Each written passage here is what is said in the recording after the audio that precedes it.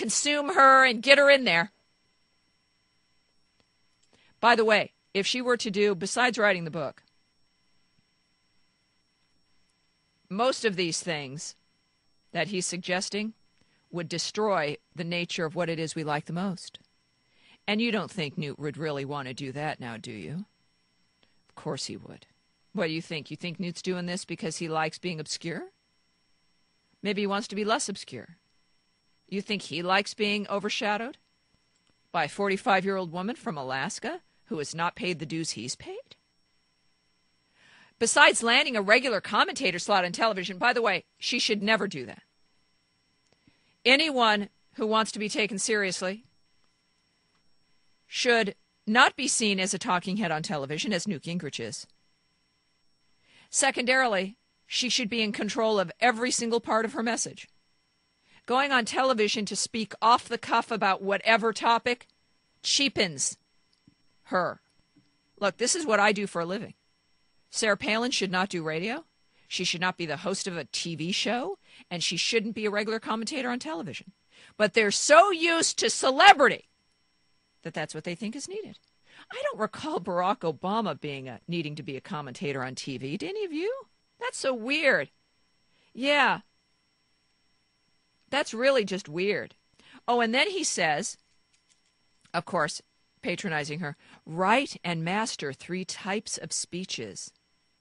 One speech is to make money, he said, and should be something smart and entertaining. Can you believe this garbage? Yeah, wh- what what happened to this guy? Did he get food poisoning? And everything's coming up out of the mouth? What the hell happened to him? What is that? Write and master three types of speeches. How about this, Newt? Type, type, type, send.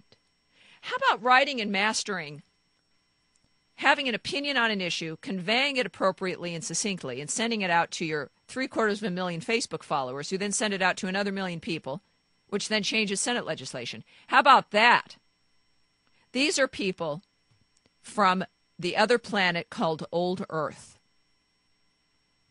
Yeah. Oh, he says, you know what the second set of speeches is, besides the one to make money, is the high value addresses designed to be delivered before major interest groups enabling P- Palin to project her brand. You know, it's funny. Palin's got her brand. The last time I saw her make speeches, they were awfully damn good. As a matter of fact, it was the only good thing of last year's election. The third speech, of course, is the campaign stump speech, which she can take on the road, he writes, in 2010 to help Republican candidates raise money and gain attention. That's funny. Then he says she needs to create some sort of national project or center he said a national energy project would be a natural for her. And that can serve as a base for her political return and an incubator for ideas and action on issues. You know what else it would do? It would require bringing in establishment scum to then change and warp her message. And lastly, plan on working really, really hard. He says many ex politicians confuse being a celebrity with being a serious political player. She can be a personality for a long time, but that's very different from becoming a national leader. This is a man who just suggested to her that she become a TV star and that she uh, move to New York or Washington to be able to hubbub with the people that matter. This is why the Republican Party is dead. Perfectly nice men and women who are so full of crap, everything looks brown. Sorry for the unfortunate analogies today, but that is kind of how I feel. I consider this an attack on Palin, hoping that she will take his advice and become just like them, which would then make her truly irrelevant, which is what all of them want. Then there's this attack. Much more direct, much less subtle.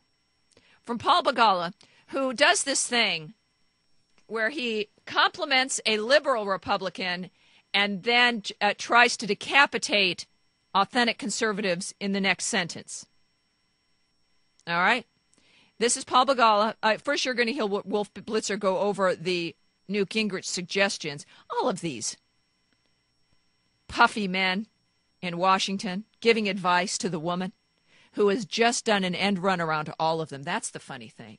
As they're all sitting there jabbering about her, she's actually getting stuff done. Well, wait till you hear what Paul Begala, how he refers to her, which is half of a whack job. Uh, I'll let him speak for himself here. This is from The Situation Room with Wolf Blitzer, weekdays 4 Eastern. We know, we know.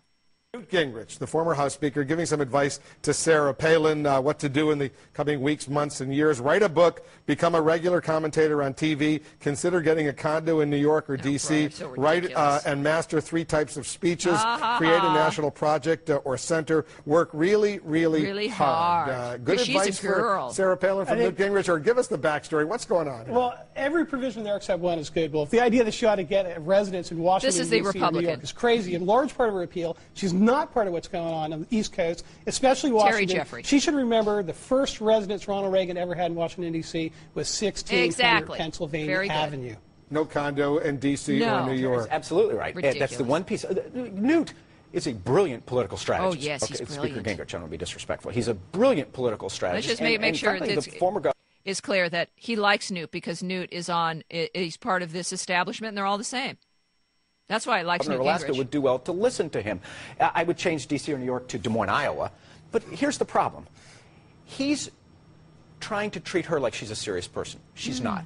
Okay, she's about a half a whack job, and, and she does not have the intellectual heft Oh, of a Newt yes. Gingrich or almost anybody else in the. Republican Party. Heft. And I think she's proved that. Oh, and I, I. Mm-hmm. admire uh, Newt Gingrich for, for pretending that she's a serious person, but Sarah Palin has proven herself to be You think flaky she's a- and an intellectual. you think she's lightweight. flaky? I, I think one thing we know about Sarah Palin is she has rock solid principles and that she's ready to fight for those principles. I do believe. or I do. her job. wait a I do, I, I do believe that she has to get out and debate national issues like this health care bill now and prove that she's able to go Can she? nose Can to she? You nose. think she pre- can? I, I think it's not proven yet, Wolf. I think she ought to get more in the face of President Obama, less on this issue. This is an excellent issue for No, her. this She wasn't should for. This fighting. was from uh, yesterday. I'm sorry. How much more in the face do you need to get than by making the Republicans and the Democrats in the Senate take out something that you thought was important and that you were lying about and wasn't true at all and didn't exist, and then it gets taken out? That you heard was Paul Begala. That's funny. Can she debate the issues? It's uh, she is having more of an impact than any of these people sitting around talking to themselves by posting something on Facebook, and they can't stand it. So, their message, Begala's message in particular, is an attempt at telling their base, by the way, don't be afraid, she's meaningless. It's the same thing they're saying about you, isn't it? This is their worldview. As a matter of fact, has very little to do with Sarah Palin. The way they look at you as a town hall patriot or as a conservative, and the way they see Sarah Palin is identical. You are an irritant. You're stupid. You don't have intellectual heft. You are not of them. You are below them. You do not know what you're talking about. You are irrelevant. You are not serious people. Let them all realize that. Let them think that about us. And then let them deal with what it means for them to have life lessons by people who are like that. Let them find out. And this also, by the way, makes them not like this country even more. Why do you think they don't like this country? Because it is of us. They truly think they are above everyone. Begala's arrogance and absurdity.